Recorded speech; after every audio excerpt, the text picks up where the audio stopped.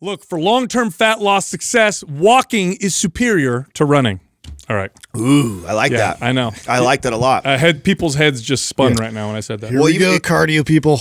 I like that because it's also um, it's the opposite of what I thought and said to clients for the first probably five plus years of being a 10 trainer. years for me. Yeah, maybe ten. Easily. Maybe ten. I was trying Yeah. to be nice to myself. Maybe I was thinking five to eight somewhere in there, but really it might have been ten. And you know, I, I've shared on the podcast that you know clients would fill out that form, the PAR-Q, right? And they and one of the questions in there was always, you know, what do you do for a form of exercise right now? and inevitably at least one out of every three people would say, "Oh, well, my husband and I we walk every Yeah, day." and you'd scoff. I would. Same. I would. I would You're totally. even breaking a sweat. You know? I, I would totally say that they oh, it's the minimal amount of calories we're burning, and that's insignificant to what we need to do if we want to lose twenty pounds, and would totally like shit all, all over their walking. Now, the irony in that is, fast forward, you know, twenty years or fifteen years later from that, uh, me coaching somebody now. And they and they come in and they say, Adam, I'm I'm not doing anything really, and I want to lose all this weight, and I want this, that, that. I'm willing to come in seven days a week. Uh, the the stuff that I tell them now is like, okay, all I want you to do is start with walking. so it's like the exact opposite of how I thought, uh, you know, 20 years Yeah. ago. So let's be clear. First, let's put aside the performance effects of exercise. Obviously, if you're looking for stamina and endurance, athletic performance, running is going to be better. So let's put that aside for a second. What are the what are the one of the I guess pluses or advantages of running over walking is it burns more calories per time being spent. This is totally true. So if you do 30 minutes of walking versus 30 minutes of running, you will burn more calories running. Okay, but that's where the pros end. Here are the negatives. Most people don't know how to run. And I don't mean most people can't run. I mean most people don't run properly. It's a skill, and most people stop running right around the age of 12 or at the latest, maybe when they pl- stop playing college sports. And so they decide they, you know, lace up my running shoes. I'm going to go start going running now. It's been, you know, 10, 15, 20 years since I ran. And their form and technique is off. They have muscle imbalances and uh, and just issues with their technique and form.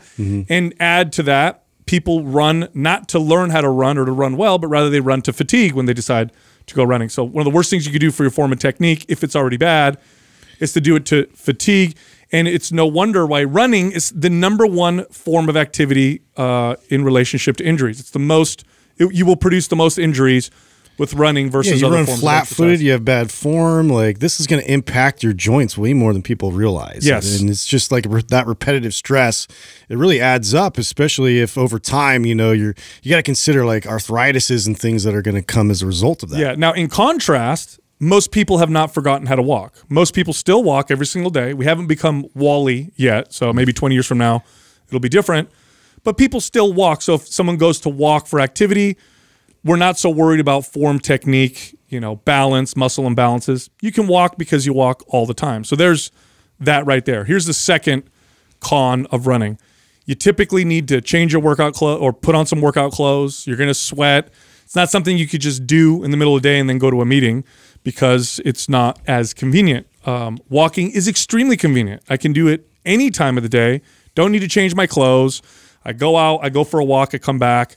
Super easy. So it's far easier to inject into your everyday life. And this plays a huge role in long term consistency. This is by far the biggest, uh, I would say, the most impactful factor with consistency is how easy can I inject this into my everyday life? And it's easy to do a 10 to 15 minute walk after breakfast, lunch, and dinner, which could come out to 30 to 45 minutes of extra activity.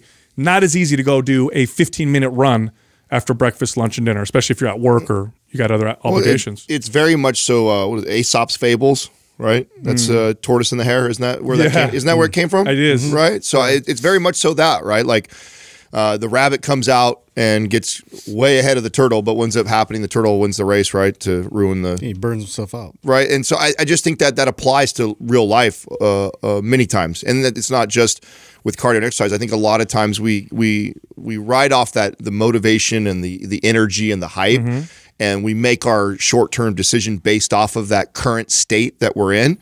And you know, theoretically, yeah, I'm going to run three or four days a week or every day, and that's going to get me to my goal. And maybe the first couple weeks you stick to it, but then life hits you, and then the sustainability of that is just unrealistic. Aside from all the points you bring up too, Yeah. which is the injuries and all and how inconvenient it is. But it just it's not sustainable for the average person. And I know, by the way, every time we do something like this where we talk about running, we always piss off a you know fraction of the audience, and the fraction of the audience that we always piss off are the people that love to run. And I'm who run not, well. I'm not speaking to you. Yes. Yeah. So I, I just want to make that clear that if you enjoy running and it's therapeutic for you and you're a good runner with good mechanics and you don't you're not suffering from chronic pain and it's meditative for you and you're and you've been consistently I ain't talking to you. Keep doing it. Yep. I'm all if I got a client if I you hired me and you said that to me, I would not say stop running. No, we're I wouldn't work with what you got. yeah, I wouldn't tell a client that. No. But if I have a client who comes in who is not doing anything for exercise and they want to lose weight, uh, I am not going to suggest that to that No, person. no. That is not a. I, I don't think it is a smart strategy for over 90% of the population. No, And it's so- not a long term strategy. It requires a lot of effort, work, and coaching to get good at running if you're not somebody that's been running since you were a child, which is essentially what's required to maintain the skill. Now, to be clear, humans did evolve to run and we're amazing runners when done properly, but we lose that skill and nobody treats it like a skill. Like I know very little, very few We, people. we also evolved to throw a spear. right. Exactly. So how many fucking people can throw a spear? Exactly. So I know I know a very few people left, who- who decide I'm going to go running and then say, you know what I'm going to do? I'm going to really practice running. I'm going to hire a coach. I'm going to learn how to run properly. I'm going to look at my biomechanics. Nobody does that. They say I'm going to start running to work out, lace up their shoes, and they go run until they're tired. And the entire time, especially as fatigue sets in, technique and form is absolutely terrible. I remember when this first really uh, hit me. I was going hiking and I saw runner after runner pass me up, and you know I'm, I'm a trainer, so it's hard for me not to notice biomechanics. And as people pass by, I'm like, oh my God, pronation. Whoa, really bad supination. Anterior pelvic tilt. Oh my God, his shoulders are forward. Oh, I could see all these injuries. And then there was the rare runner who ran by me that looked like a gazelle. Like they looked like they, they were running perfectly and it mm-hmm. looked flawless and painless. And it dawned on me like that's a skill, just like any other skill.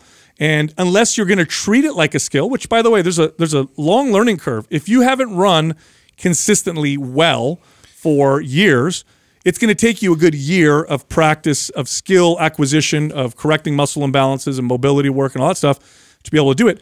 Walking doesn't have that walk that that learning Your average curve. person can't even sit with good posture. yes, totally. it's it's what are we talking about? You know, now we got to like get out there and run and do something like super strenuous like that when I can't even hold myself in good posture.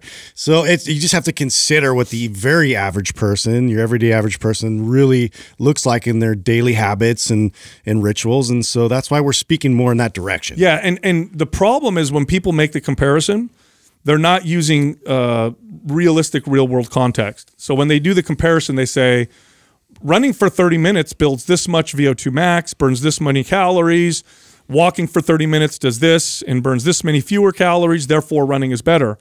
But when you look at real world context, uh, injury risk, um, you know how long it takes to build the skill of what you're trying to do, how easy it is to inject into your daily life, what it, how long people tend to stay consistent doing each activity. When you all add all of that up, which is the real world, because the other stuff doesn't matter. It's what actually happens in the real world.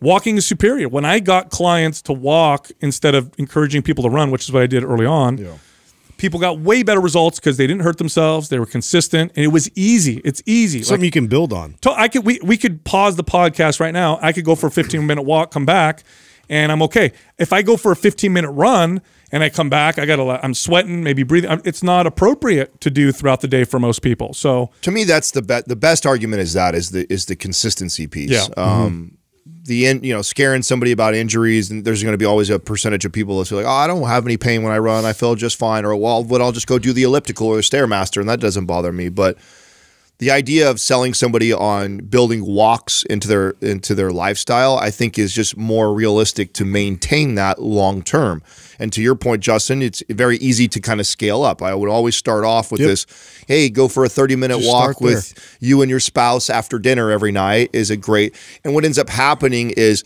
they start to do something and they they like that it's like oh this becomes a part of my routine now to Sal's point, I don't got to change Now I my to clothes. hike. I want to do something a little more intense. Yeah, maybe on the weekends, then I start to extend those those walks to two hour hikes where we go somewhere Mm-hmm. and uh, somewhere beautiful and, and and and get more calories burned. But it's really just it's it's changing the lifestyle, and I think that was and the behaviors Yeah. around that. So I think that's the and thing. when you add all that up, you get a greater real world fat loss effect from walking and better health effect from walking. Um, you're still, of course, with running, you're going to build more endurance, more stamina, more athletic performance, which is fine if that's what you're looking for.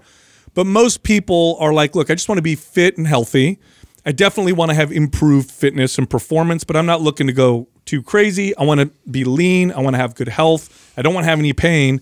And when you look at it in that through that lens, walking is just so uh, so amazing. And also, by the way, when you look at the longest living people in the world, what they all have in common, there's a few things that they have in common, but one of them is just daily activity.